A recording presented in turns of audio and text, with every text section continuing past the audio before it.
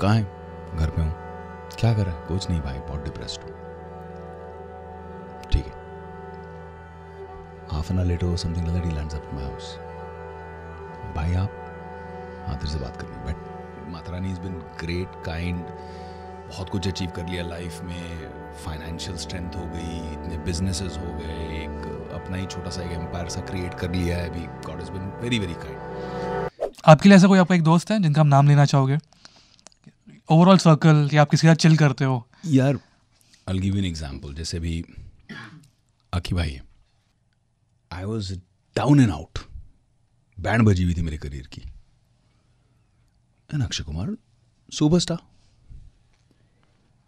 called me one day कहाँ है? घर पे हूँ. क्या कर रहा है? कुछ नहीं भाई बहुत डिप्रेस्ड हूँ. ठीक है. Half an hour later something like that he lands up my house भाई, आप हाँ तेरे से बात करनी है, बैठ। बता, क्या प्रॉब्लम चल रही तेरी life so he let me vent out he let me air my problems pain patiently सुना। पर देख यार, ये सब का तो मैं कुछ कर नहीं सकता। पर तुझे पॉजिटिव माइंडसेट करने के लिए वो आई टेल यू ये इतने सारे शोज़ चल रहे हैं, तेरे इतने सारे ब्लॉकबस्टर गाने हो चुके हैं, मैं बहुत शूट कर रहा हूँ। मैं ये शोज़ कर नहीं सकता। मैं तुझे वो शो डाइवर्ट कर देता हूँ। Start doing them whatever inquiry is coming for me I send it to you मुझे करने नहीं है. यू डू इट बॉस, क्या बात है यार? कौन करता है ऐसे और उससे कम से कम I started going back on stage started seeing fans in a show fans are cheering एक अच्छी पॉजिटिव फीलिंग आ गई. शो के रिहर्सल में आप बिज़ी हो गए. After that start doing shows non stop पैसे के पैसे आए आपको। बिकॉज़ मेरी फ्रस्ट्रेशन ये थी कि मैं फ़िल्म डिलीवर कर रहा हूँ हिट हो रही है मुझे अवार्ड मिल रहे हैं नॉमिनेशन मिल रहे हैं फिर भी मुझे काम क्यों नहीं दे रहा कोई? क्यों इस तरह से बहिष्कार हो रहा है? तो ही डेंट से कि I will stand up for you I will fight this war against the lobby उन्होंने एक प्रैक्टिकल सिंपल सोल्यूशन दिया। पैसे भी आए फीलिंग भी आई लव भी आया परफॉर्मेंस की कमिटमेंट भी आई बहुत मज़ा आया।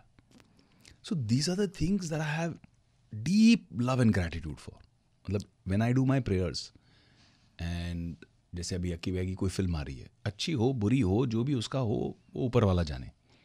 बट मेरा कर्तव्य ये बनता है कि इस इंसान ने मेरे लिए अच्छा किया तो always wish good for him pray कि इनका अच्छा सक्सेस मिले, इनका चले।